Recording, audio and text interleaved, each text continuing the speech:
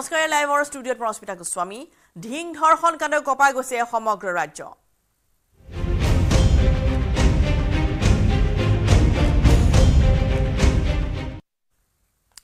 আজিৰ তৃতীয় দিনটোৰ প্ৰতিবাদী কাৰ্যসূচী আজি অব্যাহত থাকিব ঢিঙত কিন্তু এতিয়াও পলাতক অৱস্থাত আছে ছাত্ৰী দলবদ্ধ ধৰ্ষণ কাণ্ডৰ অন্য দুই অভিযুক্ত গুলাবুদ্দিন আৰু ফৰিদুল।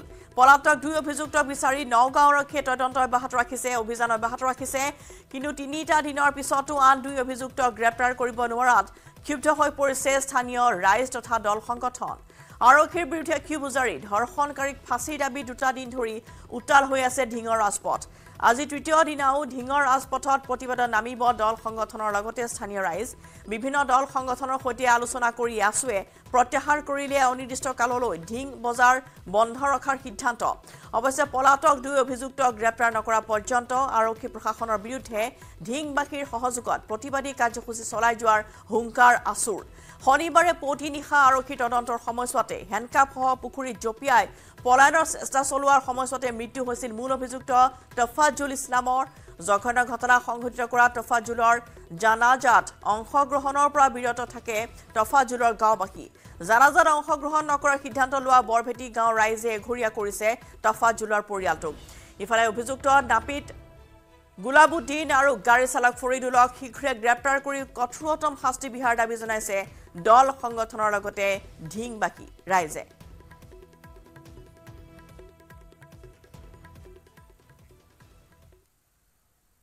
ৰাজ্যত ক্ৰমান্বয়ে বৃদ্ধি পোৱা নাৰীজনিত অপৰাধক লৈ উদ্বিগ্ন হৈ পৰিছে মুখ্যমন্ত্ৰী হিমন্ত বিশ্ব শৰ্মা।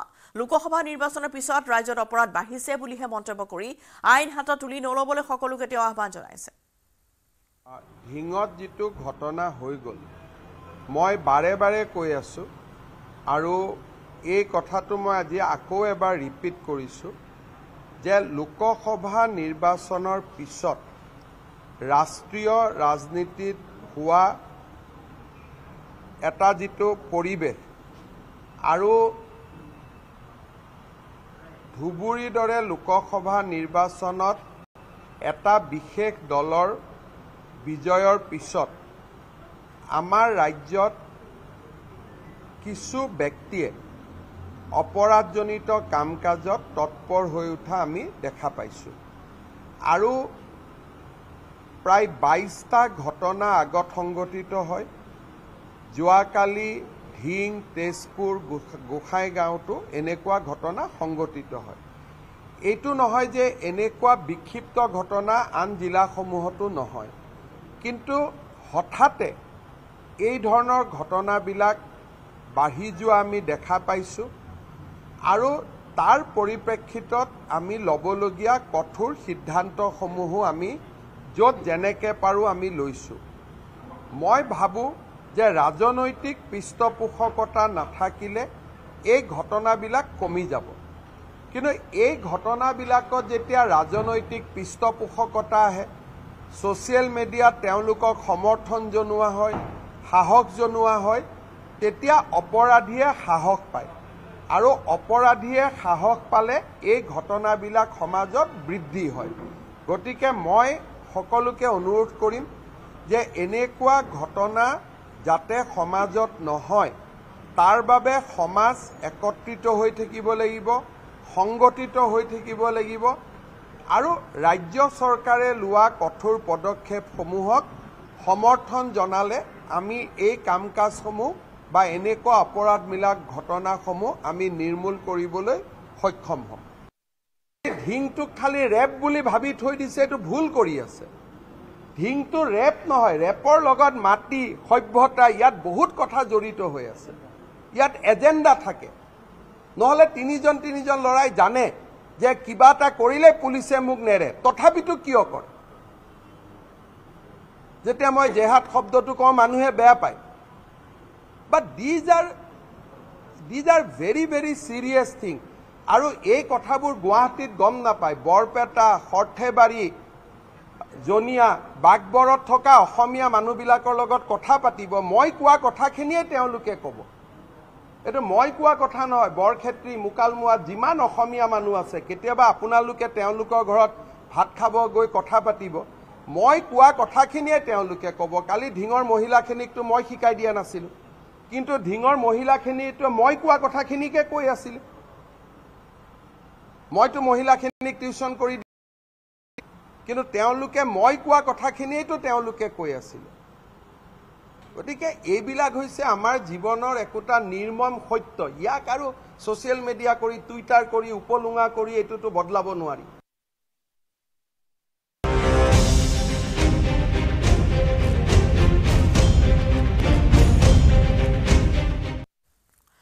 ইফালে উজনি অসমত বাস কৰা মিয়া সম্প্ৰদায়ৰ লোকক উজনি এৰাৰ বাবে সাত দিনৰ সময়সীমা বান্ধি দিছে উজনিৰ দল সংগঠনে। মিয়াৰ বিৰুদ্ধে জেহাদ ঘোষণা কৰি সংগঠনসমূহৰ সিদ্ধান্তক লৈ শাসক বিৰোধী নেতা মন্ত্ৰীৰ মাজত মতানৈক্যৰ সৃষ্টি হৈছে। বিজেপিয়ে অসমৰ পৰা মিয়া খেদিব নোৱাৰে বুলি হুংকাৰ দিছে কংগ্ৰেছ বিধায়ক আব্দুৰ ৰছিদ মণ্ডলে। অসমৰ পৰা কোনেও মিয়া খেদিব নোৱাৰে বুলি প্ৰত্যাহ্বান জনোৱাৰ পিছতেই উজনি অসমত তৎপৰ হৈছে বিভিন্ন জাতীয় দল সংগঠনসমূহ। কৰ্মসূত্ৰে উজনি অসমত থকা একাংশ মিয়া সম্প্ৰদায়ৰ লোকক সকিয়নি দিছে বিভিন্ন দল সংগঠনে।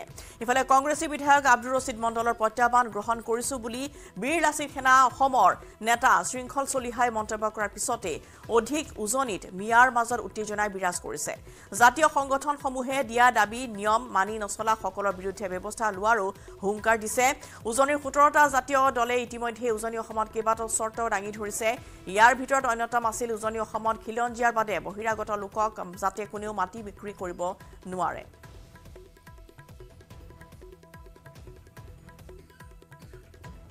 আৰু ইফালে শিৱসাগৰত জাতীয় দল সংগঠনৰ সকিয়নিৰ পিছতে শিৱসাগৰত বৰ্তমান মিয়া ব্যৱসায়ী হ্ৰাস পাইছে।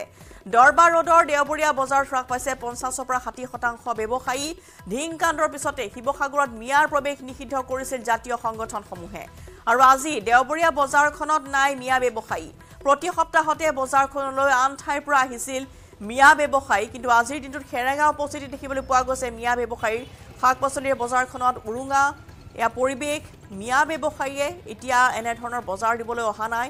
দেওবৰীয়া বজাৰখনত পঞ্চাছৰ পৰা ষাঠি শতাংশ ব্যৱসায়ী বৰ্তমান হ্ৰাস পোৱা দেখিবলৈ পোৱা গৈছে। এয়া শিৱসাগৰ পৰিৱেশ। প্ৰদীপ গগৈ পোনপটীয়া সম্প্ৰচাৰত এই মুহূৰ্তত আমাৰ সৈতে সংযুক্ত হৈছে। প্ৰদীপ শিৱসাগৰত বৰ্তমান মিয়া ব্যৱসায়ীৰ সংখ্যা হ্ৰাস পোৱা দেখিবলৈ পোৱা গ'ল।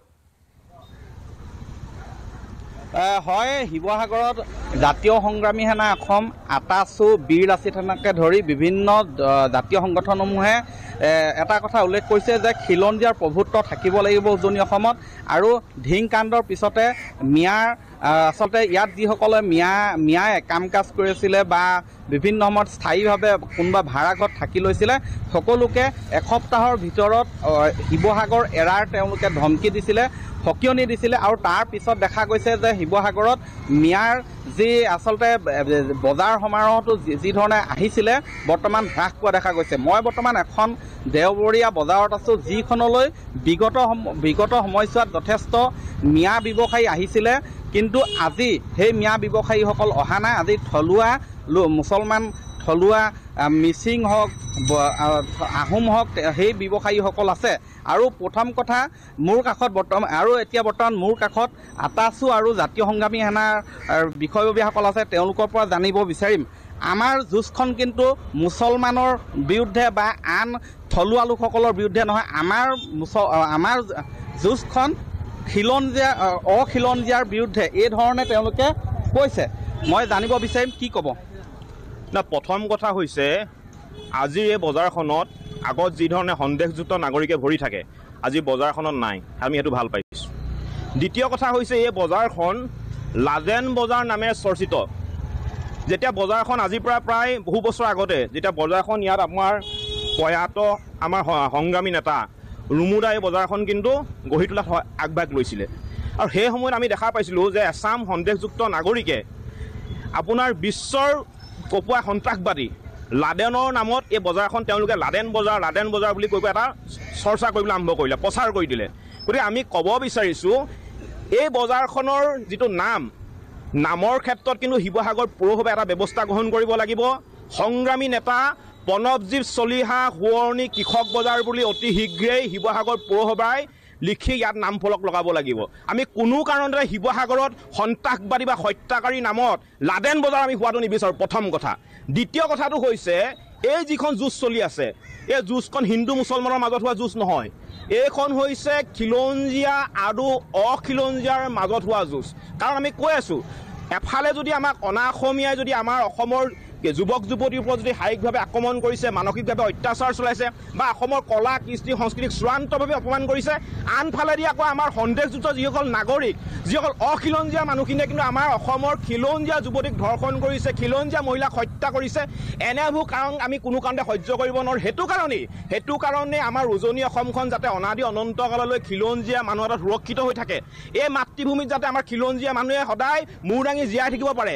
এই মাতৃভূমি যাতে মাতৃভূমিত যাতে খিলঞ্জীয়া মানুহৰ প্ৰভুত্ব থাকে আধিপত্য থাকে। অসমৰ ভাষা কলা কৃষ্টি সংস্কৃতি যাতে সদায় চিৰদিন চিৰকালৰ কাৰণে উচ্চ স্থানত জিলিকি থাকে। অসমৰ সম্পদ অধিকাৰ মাটি অধিকাৰ অসমীয়া মানুহৰ হাতত থাকে। সেইটো কাৰণে সংগ্ৰামখন কৰা হৈছে গতিকে এই সংগ্ৰামখন হিন্দু মুছলমানৰ সংগ্ৰাম নহয়। এই সংগ্ৰামখন হৈছে বিৰুদ্ধে- বিৰুদ্ধে হোৱা এখন সংগ্ৰাম খিলঞ্জীয়াৰ প্ৰভুত্বৰ স্বাৰ্থত এখন কৰা সংগ্ৰাম। হয় আটাচু আছে। আটাচুৱে ইতিমধ্যেই সন্দেহজনক মিয়াসকলৰ বিৰুদ্ধে অভিযান চলাইছে। তেওঁলোকে কাৰা সকিয়নি দিছে যে এসপ্তাহৰ ভিতৰত এৰিব লাগিব উজনি অসম। আটাচুৰ পাৰ্থ গগৈ আছে কি ক'ব? আপোনালোকে কালিও দেখা গৈছিলে বিভিন্ন স্থানত আপোনালোকে গৈছিলে। কি ক'ব? চাওক প্ৰথম কথা অসমখন কেতিয়াও অপৰাধী আৰু ধৰ্ষণকাৰী ৰম্যভূমি হ'বলৈ দিয়া নহ'ব। সেইটো কথা স্পষ্ট। আৰু সেই সেই হুংকাৰ শিৱসাগৰৰ পৰা পৰিছে আৰু আজি ইয়াৰ ফল আপোনালোকে দেখি ল'ব যে যিখন বজাৰত আমি উপস্থিত আছোঁ এই বজাৰখন আচলতে আজি আজি প্ৰায় নাই বুলি ক'লেও হয়তো ভুল নহ'ব। ইয়াত যিসকল আমি সন্দেহযুক্ত লোকৰ মিয়া লোকৰ কথা আচলতে কৈ আছোঁ আচলতে তেওঁলোকে ইয়াত উপস্থিতি নাই বুলি ক'লেও এক প্ৰকাৰে ভুল নহ'ব। গতিকে আমি কৈছোঁ যে পথাৰ আমাৰ হ'ব লাগিব বজাৰ আমাৰ হাতত থাকিব লাগিব। গতিকে আমি যিসকল লোকে আমি আমাৰ যুদ্ধখন আচলতে কাৰ লগত? আমাৰ যুদ্ধখন হৈছে যিসকল লোকে অসমত থাকি সাৰ পানী খাই ডাঙৰ হৈছে অৰ্থাৎ অসমীয়া ভাষা শুদ্ধকৈ ক'ব নোৱাৰে।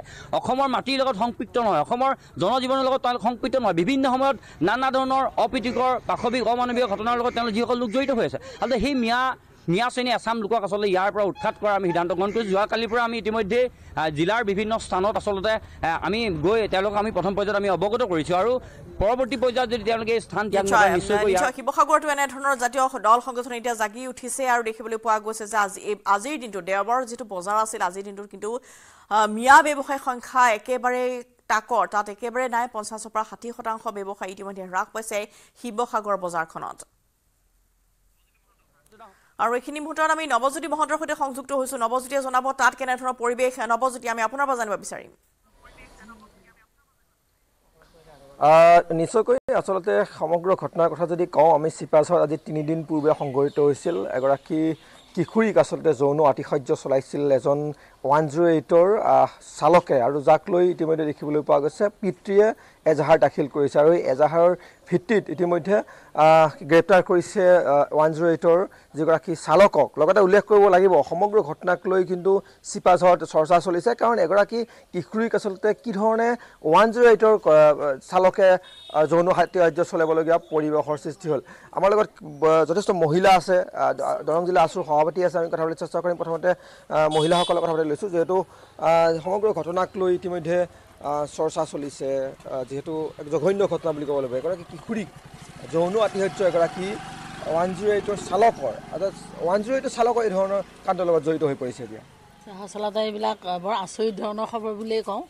কাৰণ ইতিমধ্যে কলিকতাত যিটো ঘটনা ঘটিল ডক্টৰজনগৰাকীৰ ওপৰত এইটো গোটেই মানে আমাৰ ভাৰতবৰ্ষকে কঁপাই গ'ল। তাৰ তাৰ পিছতেই কিন্তু এইবিলাক মানে কোনো ধৰণৰ মানে যিবিলাক মহিলাৰ ওপৰত আতিশয্যা বা নিৰ্যাতন বা যেনেকুৱা ধৰণৰ যৌন নিৰ্যাতন বুলি কওঁ তেনেকুৱা ধৰণৰ কমা নাই। ইতিমধ্যে ঢিঙত এইদিনাখন এইটো ঘটনা ঘটি গ'ল আৰু ওদালগুৰি জিলাত কেইদিনমান আগতে ঘটিছিল।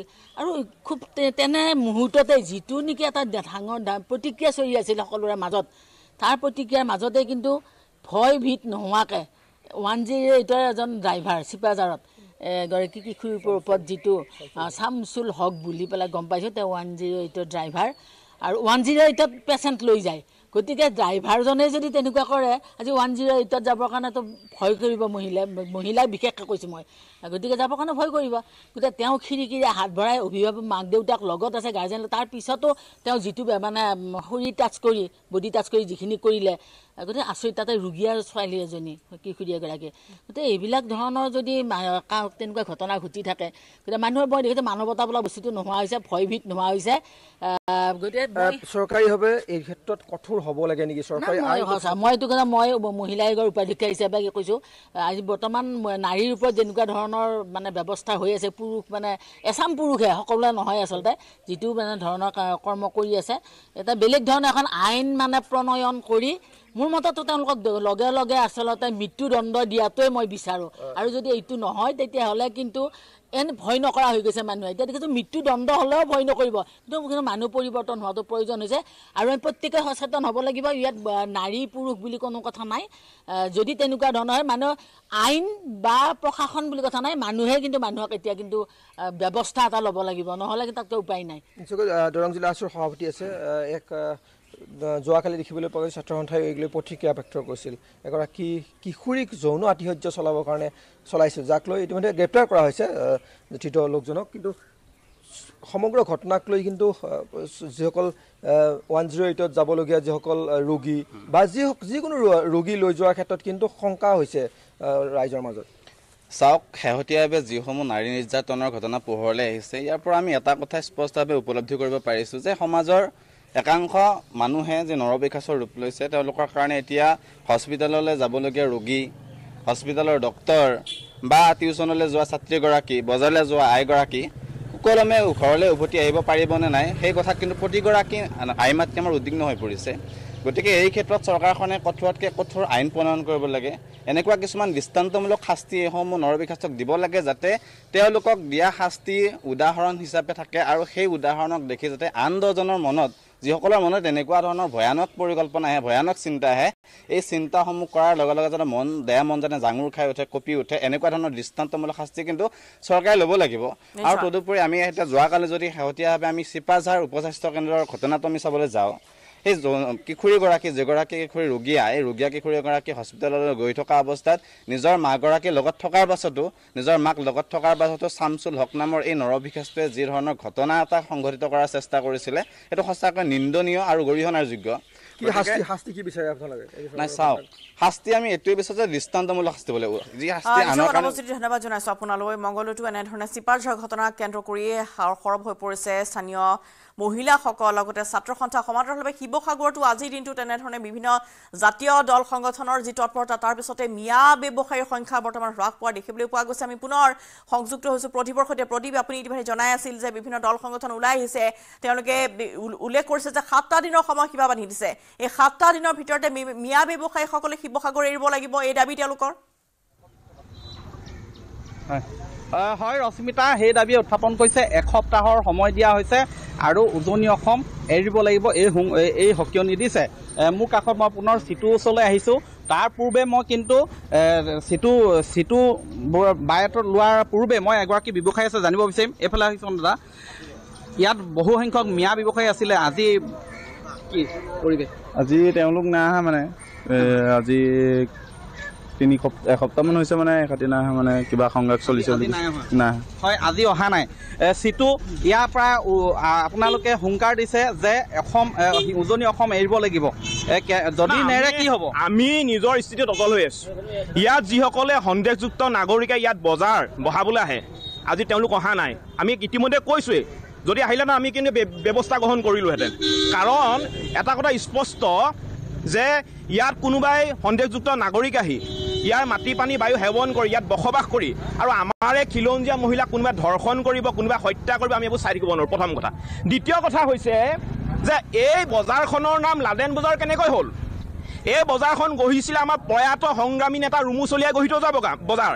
কিন্তু ইয়ালৈ এচাম সন্দেহযুক্ত নাগৰিকে ইয়াত আপোনাৰ ব্যৱসায় কৰিবলৈ আহি তেওঁলোকে তেওঁলোকৰ তেওঁলোক যিহেতু এটা অপৰাধী হিচাপে তেওঁলোকক গণ্য কৰা হয় তেওঁলোকে তেওঁলোকৰ আপোনাৰ বিশ্ব আপোনাৰ কপোৱা যিজন সন্ত্ৰাসবাদী সন্ত্ৰাসবাদী লাডেনৰ নাম কৈ কৈ লাডেনৰ নাম কৈ গোটেই বজাৰখন লাডেন বজাৰ কৰি পেলালে। গতিকে শিৱসাগৰ পৌৰসভালৈ আমাৰ প্ৰথম প্ৰশ্ন আৰু দাবী এই বজাৰখনৰ নাম যিটো চৰ্চা হৈ আছে লাডেন বজাৰ সেই নাম কৰ্তন কৰিব লাগিব আৰু অতি শীঘ্ৰেই এই বজাৰখনৰ সন্মুখত এখন নাম ফলক লগাব লাগিব য'ত লিখা থাকিব লাগিব যে আমাৰ প্ৰয়াত সংগ্ৰামী নেতা প্ৰণৱজিৎ চলিয়া সোঁৱৰণী কৃষক বজাৰ। মই পুনৰবাৰ কৈছো প্ৰণৱজিৎ চলিয়া সোঁৱৰণী কৃষক বজাৰ নামেৰে এই বজাৰখন নামাকৰণ কৰিব লাগিব। দ্বিতীয় কথা হৈছে যে এই যুঁজখন হিন্দু মুছলমানৰ মাজত হোৱা যুঁজ নহয়। এই যুঁজখন হৈছে খিলঞ্জীয়া আৰু অখিলঞ্জীয়াৰ মাজত হোৱা যুঁজ। কাৰণ এফালে যদি আমাক অনা অসমীয়া যদি আমাৰ অসমৰ যুৱক যুৱতীসকলক যদি শাৰীৰিকভাৱে আক্ৰমণ কৰিছে মানসিকভাৱে অত্যাচাৰ চলাইছে বা অসমৰ ভাষা কলা কৃষ্টি সংস্কৃতি চূড়ান্তভাৱে অপমান কৰিছে। আনফালেদি কিন্তু আমাৰ এই সন্দেহযুক্ত নাগৰিকখিনিয়ে আমাৰ খিলঞ্জীয়া মহিলাক ধৰ্ষণ কৰিছে। আমাৰ খিলঞ্জীয়া মহিলাক কিন্তু ধৰ্ষণ কৰি হত্যা কৰিছে। এই কাণ্ড কোনো কাণ্ডে আমি সহজভাৱে ল'ব নোৱাৰো মানি ল'ব নোৱাৰো। কংগ্ৰেছী বিধায়কে কৈছে যে আপোনালোকে সন্দেহজনক মিয়াক খেদাব নোৱাৰিব। প্ৰথম কথা হৈছে যে গৃহস্থৰ ঘৰত আলহীৰ দম্ভালি আলহী অটপালি সহ্য কৰা নহ'ব। গৃহস্থৰ ঘৰত আলহী দম্ভালি আলহী অটপালি সহ্য কৰা নহ'ব। কংগ্ৰেছী বিধায়ক যিজন মিয়া প্ৰেমী আব্দুল ৰচিল মণ্ডলক আমি সকীয়াই দিছোঁ। আমি সকীয়াই দিছোঁ তেওঁ চেলেঞ্জ আমি একচেপ্ট কৰিছোঁ। আমি কৈছোঁ যে এসপ্তাহৰ ভিতৰত উজনি অসমৰ পৰা সন্দেহযুক্ত নাগৰিক যাব লাগিব মানে যাব লাগিব। ইয়াত কোনো কিন্তু ইয়াত কোনো কম্প্ৰমাইজ নহ'ব।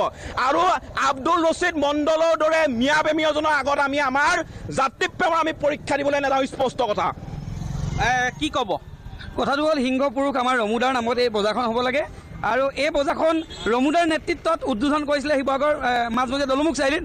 পৰৱৰ্তী সময়ত ইয়ালৈ আহিলে। কিন্তু মানুহৰ অসমীয়া মানুহৰ এটা ভুল আছে। সন্দেহজনক নাগৰিকখিনিৰ কথা কি ক'ব? সন্দেহজক এ, সি হিন্দুৱে হওক বা মুছলমানে হওক সন্দেহজনক নাগৰিকক আমি কেতিয়াও ৱেলকাম নকৰোঁ। ইয়াৰ পৰা খেদাব লাগে এইটো স্পষ্ট। আৰু কংগ্ৰেছী বিধায়ক আব্দুল মছিদ মণ্ডলে যিটো কথা কৈছে সেইটো আমি তীব্ৰ ধিক্কাৰ দিছোঁ। কাৰণ তেখেতে সেই কথাটো কোৱাতকৈ অসমীয়া খিলঞ্জীয়া অসমীয়া সুৰক্ষা দিয়াতে বেছি গুৰুত্ব দিব লাগে বুলি মই ভাবোঁ। হয়। নিশ্চয়কৈ শিৱসাগৰত এনেধৰণে জাতীয় দল সংগঠনে প্ৰতিবাদ সাব্যস্ত কৰা পৰিলক্ষিত হৈছে। আমি এই খবৰ অব্যাহত ৰাখিম। আমি যিহেতু উজনিত এতিয়া বিভিন্ন দল সংগঠন জাগি উঠিছে। ৰিখেশ্বৰ আছে আমাৰ সৈতে। উজনি অসমতো এতিয়া বহিৰাগতক মাটি বিক্ৰী নিষেধাজ্ঞা জাৰি কৰিছে। সোতৰটাকৈ জাতীয় সংগঠনে ব্যৱসায়িক প্ৰতিষ্ঠানৰ বেনাৰ লিখিব লাগিব অসমীয়াত। মৰাণত এনেধৰণে সংঘবদ্ধ হৈছে সোতৰটাকৈ সংগঠন।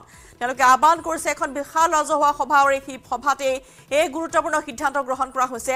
আনহাতে স্মাৰ্ট মিটাৰ বিৰুদ্ধেও অহা সপ্তাহৰ পৰা অহা শনিবাৰৰ পৰা চলিব ধাৰাবাহিক আন্দোলন। কিন্তু সকলো বেনাৰ অসমীয়া লিখিব লাগিব। এনেদৰে উজনি অসমত মৰাণত সোতৰটাকৈ জাতীয় সংগঠন ঐক্যবদ্ধ হৈ সিদ্ধান্ত গ্ৰহণ কৰিছে। ৰিখেশ্বৰ আছে মৰাণৰ পৰা। ৰিখেশ্বৰ ঐক্যবদ্ধ হৈছে সোতৰটা জাতীয় সংগঠন আৰু কি কি দাবী তেওঁলোকৰ আছে? হয় নিশ্চয়কৈ যোৱাকালি দেখা গৈছিল প্ৰায় সোতৰটা সংগঠনে একত্ৰিত হৈ বহিৰাগত বনিয়াৰ বিৰুদ্ধে হুংকাৰ প্ৰদান কৰিছিল। ইতিমধ্যে স্মাৰ্ট মিটাৰ বিৰুদ্ধে এলানি কাৰ্যসূচী ঘোষণা কৰিছে।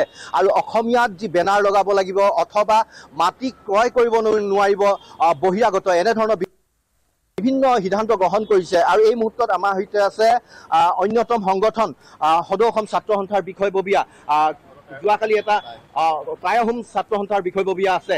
যোৱাকালিৰ দিনটোত এক গুৰুত্বপূৰ্ণ সিদ্ধান্ত আপোনালোকে গ্ৰহণ কৰিছে। কি কি হয় যোৱাকালি আমি প্ৰায় ষোল্ল সোতৰটা সংগঠনে আমি ঐক্যবদ্ধভাৱে এখন সভা আয়োজন কৰিছিলোঁ আৰু এই সেই সভাতে আমি ছটা আমি প্ৰস্তাৱ ইতিমধ্যে গ্ৰহণ কৰিছোঁ। আৰু সেই ছটা প্ৰস্তাৱৰ ভিতৰত প্ৰথম কথাটো হৈ গ'ল যে যি বহিৰাগতৰ যি দপদপনি সেই দপদপনি আচলতে মৰাণত আমি কোনো কাৰণতে এইটো চলিব দিব নোৱাৰোঁ। আৰু আচলতে মৰাণত যি অসমীয়াগিৰি সেই অসমীয়াগিৰি আমি জীয়াই ৰাখিব লাগিব। আৰু শান্তি সম্প্ৰীতি বিৰাজমান ৰখাৰ স্বাৰ্থতে আমি সকলো সংগঠনে একত্ৰিত হৈ আমি ৰাজহুৱা সভাখন কালি অনুষ্ঠিত কৰিছিলোঁ। আৰু সেই ৰাজহুৱা সভাৰ জৰিয়তে আমাৰ বিভিন্ন ৰাইজ তাত উপস্থিত থকাতে আমি এই প্ৰস্তাৱকেইটা গ্ৰহণ কৰিছিলোঁ যে মৰাণত বহিৰাগতৰ যিবিলাক বনিয়া আছে তেখেতলোকে মৰাণত মাটি ক্ৰয় কৰিব নোৱাৰিব। এনেধৰণৰ এটা আমি প্ৰস্তাৱ গ্ৰহণ কৰিছোঁ। সমান্তৰালভাৱে দুখীয়াৰ পৰা ধনী শ্ৰেণীলৈকে যিসকল ব্যক্তি আছে। তেখেতলোকৰ মূৰত মাধৰ মাহ সোধোৱা এটা যি চৰকাৰৰ যি পদক্ষেপ স্মাৰ্ট মিটাৰ এই স্মাৰ্ট মিটাৰ আমি মৰাণত কোনো কাৰণতে আমি সংযোগ কৰিবলৈ নিদিয়া এটা প্ৰস্তাৱ গ্ৰহণ কৰিছোঁ আৰু তাৰ সেই প্ৰস্তাৱৰ জৰিয়তে অহা শনিবাৰে তথা একত্ৰিছ তাৰিখে এটা আমি জংগী এটা গণতান্ত্ৰিক আমি আন্দোলন গঢ়ি তুলিবলৈ চেষ্টা কৰিছোঁ। প্ৰায় পাঁচৰ পৰা দহ হাজাৰ মানুহ আমি একত্ৰিত হৈ আমাৰ এই প্ৰতিবাদ আমি সাব্যস্ত কৰিম। আৰু আমাৰ এই প্ৰতিবাদৰ জৰিয়তে আমি ৰাজচক্ৰ মহোদয় যোগেদি আমি মুখ্যমন্ত্ৰীলৈ আমি স্মাৰক পত্ৰ প্ৰেৰণ কৰিম। তাৰপিছতো যদি তেখেতলোকে যদি আমাৰ যি দাবী এই দাবীৰ প্ৰতি যদি সহমত নজনায় তেতিয়াহ'লে ইয়াতকৈ আমি অধিক জংগী আমি আন্দোলনৰ কাৰ্যসূচী আমি হাতত ল'বলৈ আমি বাধ্য হ'ম। আৰু সমান্তৰালভাৱে অসমত এতিয়া দেখিছোঁ ঢিঙত যিটো কাণ্ড ইতিমধ্যে সংঘটিত হৈছে তাৰ বাবে ইতিমধ্যে উজনি অসমত বহু ঠাইত এনেধৰণৰ মিয়া মিয়া মুছলিম আমি দেখিবলৈ পাইছোঁ। গতিকে বহু ঠিকাদাৰে তেখেতলোকৰ কামৰ সুবিধাৰ্থে তেখেতলোকক আশ্ৰয় দি আছে বা অন্যান্য ঠাইত কৰ্মৰ বাবে তেখেতলোক নিয়োজিত কৰি থৈছে। গতিকে আমি সদতা এহোম ছাত্ৰ সন্থাই। আমি আমাৰ অভিযান আমি ইতিমধ্যে আৰম্ভ কৰিছোঁ। এসপ্তাহ ভিতৰত উজনি অসমৰ পৰা এই মিয়া ইতিমধ্যে তেখেতলোকে ত্যাগ কৰিব লাগিব উজনি অসম। অন্যথা কিন্তু যিবিলাক আমি পদক্ষেপ হাতত লৈছোঁ এই পদক্ষেপৰ জৰিয়তে কিন্তু আমি তেখেতলোকক খেদাই পঠিয়াবলৈ আমি বাধ্য হ'ম। ইয়াৰ পিছতো যদি কিবা যদি প্ৰতিক্ৰিয়া আহিবলৈ হয় অসম চৰকাৰে যদি কিবা যদি তাত যদি তেখেতলোকে যদি আমাক আগাভেটা কৰিবলৈ হয় তেতিয়াহ'লে আমি কিন্তু খিলঞ্জীয়া ৰাইজ কেতিয়াও আমি কিন্তু ক্ষান্ত হৈ নাথাকোঁ। আৰু আমি আহ্বান জনাব বিচাৰিছোঁ যে গাঁওবুঢ়ীয়ে বহুত তেনেধৰণৰ মিয়া মুছলিম ইতিমধ্যে বিভিন্ন ঘৰত তেখেতলোকে আশ্ৰয় লৈ আছে। আমি ৰাইজক অনুৰোধ জনাইছোঁ খিলঞ্জীয়া ৰাইজক অনুৰোধ জনাইছোঁ এইটো কাৰণে অনুৰোধ জনাইছোঁ আমাৰ বাই ভনীক যদি আমি জীয়াই ৰাখিবলৈ হয় তেতিয়াহ'লে কিন্তু আমি এনেধৰণৰ পদক্ষেপ হাতত ল'ব লাগিব নহ'লে কিন্তু তেখেতলোকে ইতিমধ্যে আমাৰ বাই ভনী বহুত তেখেতলোকে ধৰ্ষণ কৰি হত্যা কৰিছে। গতিকে এনেধৰণৰ কাৰ্যৰ পৰা যদি আমাৰ বাই ভনীক যদি বচাই ৰাখিবলৈ হয় তেতিয়াহ'লে এই মিয়া সম্প্ৰদায়টোক আমি উজনি অসমৰ পৰা খেদি পঠিয়াব লাগিব তেতিয়াহে কিন্তু আমাৰ উঠি অহা প্ৰজন্ম সুৰক্ষিত হয়। নহ'লে কিন্তু আমাৰ উঠি অহা প্ৰজন্মৰ বাই ভনী আমি কেতিয়াও সুৰক্ষিত নহয়।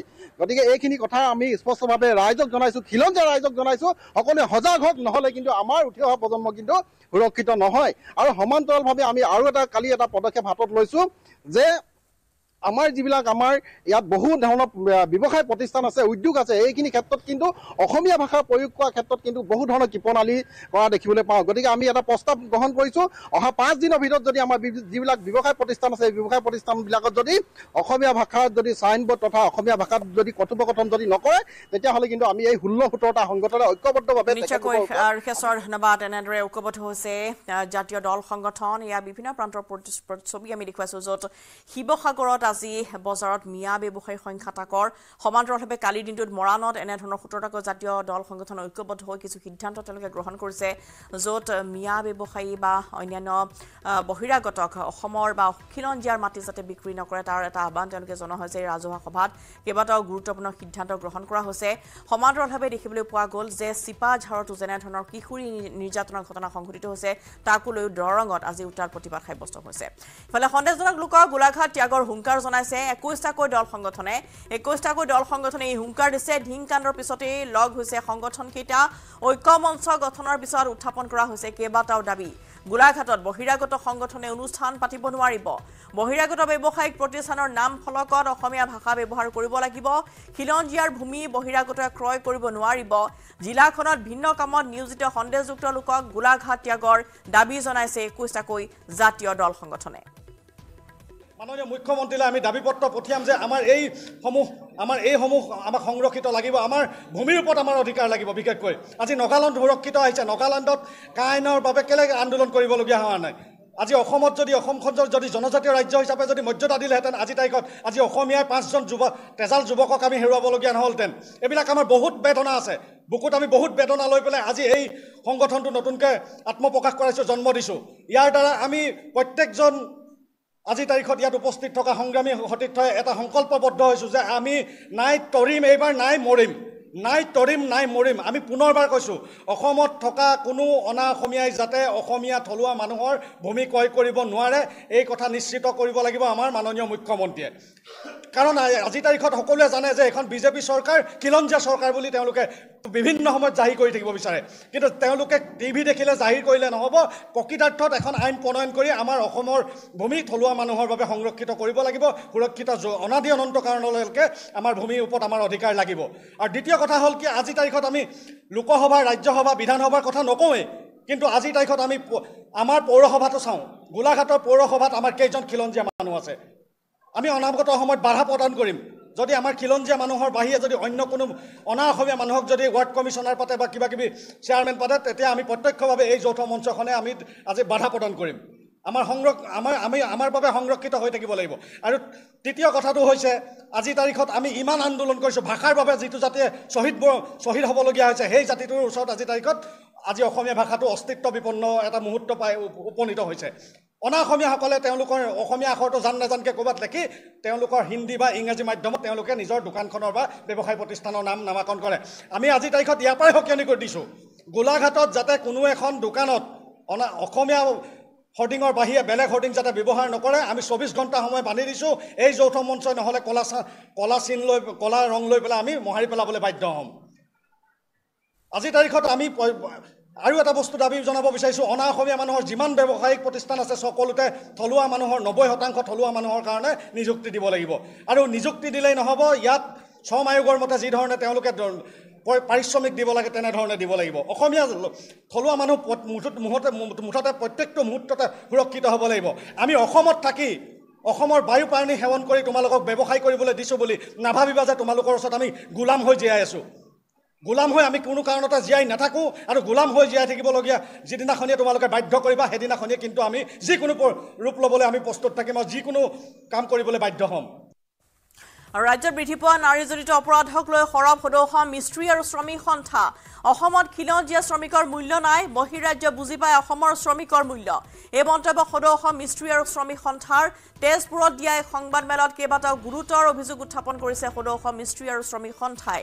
সমগ্ৰ অসমতে সন্দেহজনক বাংলাদেশী মূলৰ শ্ৰমিকেৰে নামনি অসমৰ পৰা উজনি অসম ভৰি পৰিছে বুলি উল্লেখ কৰিছে।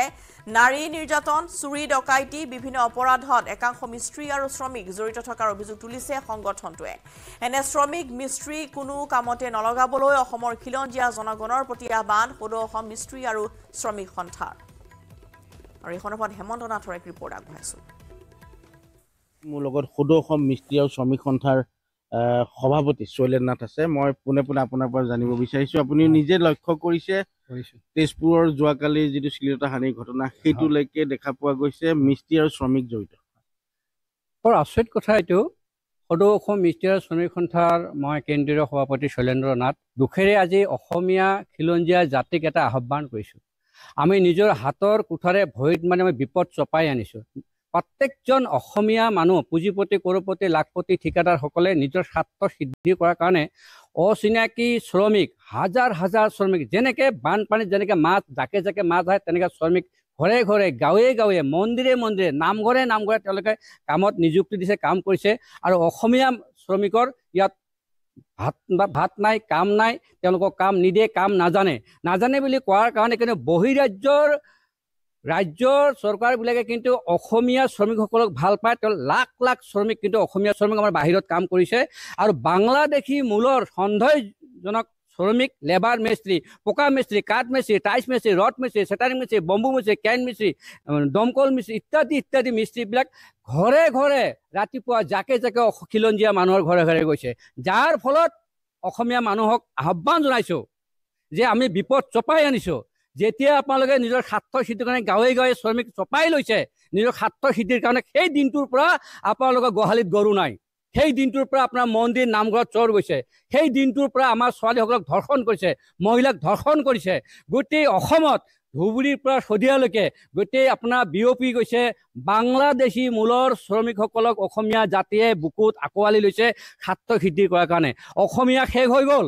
আপোনালোকে আহ্বান জনাইছোঁ অসমীয়া জাতিক শপত গ্ৰহণ কৰক যে আজিৰ পৰা নামঘৰত আমি কোনো বাংলাদেশী মূলৰ শ্ৰমিকক আমি কামত নিযুক্তি নিদিওঁ। বিশেষকৈ কণ্ট্ৰেক্টৰসকলক ঠিকাদাৰসকলক আহ্বান জনাইছোঁ ইটা ভাটাৰ মালিকসকলকো আহ্বান জনাইছোঁ। তেওঁলোকে অজস্ৰ নামনি অসমৰ নামনি অসমৰ শ্ৰমিক আনে এশ দুশ তেনেকুৱা আনি থাকে। গোটেই ঠিকাদাৰবিলাক আনে। কিন্তু কোনে ক'ত থাকে কোনো পৰিচয় পত্ৰ নাই। আহ্বান জনাইছোঁ কণ্ট্ৰেক্টৰসকলক ঠিকাদাৰসকলক মালিক পক্ষক যে শ্ৰমিক যৰে নহওক তেওঁলোকৰ আপোনাৰ যিটো আইডেণ্টি প্ৰুফ তেওঁ প্ৰমাণ পত্ৰ চাইহে কামত নিযুক্তি দিয়াটো আমি কামনা কৰিছোঁ। হয়। এই আছিল সদৌ অসম মিস্ত্ৰী আৰু শ্ৰমিক সন্থাৰ ৰাজ্যিক সভাপতি শৈলেন নাথ আৰু তেখেতে এই শেহতীয়া যি এই ঘটনা এই ঘটনাসমূহত বিশেষভাৱে মিস্ত্ৰী আৰু শ্ৰমিক এনে লোক জড়িত হৈ পৰাত তেওঁ উদ্বিগ্নতা প্ৰকাশ কৰিছে। খবৰ আছে লাইভৰ সময় হ'লে turn